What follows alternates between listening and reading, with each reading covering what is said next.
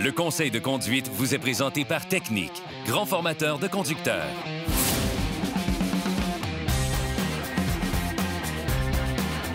Hier, Martin, je suis arrivée à une intersection en même temps qu'un piéton. Alors là, je me suis dit, ah, si je tourne rapidement, ça prendrait beaucoup moins de temps que d'attendre que le piéton traverse. Mais je n'étais pas trop certaine que j'avais le droit, donc j'ai attendu. Tu as bien fait, euh, Marie-Laurence, parce que c'est le piéton qui a priorité.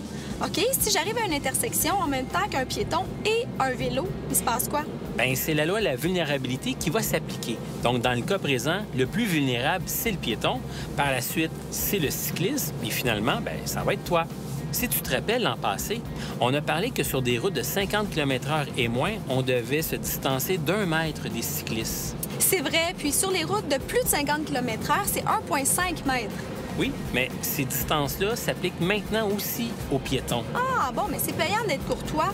On est certain de ne pas avoir aucune égratignure sur notre pare-choc. Puis ça évite les blessés. C'est vrai.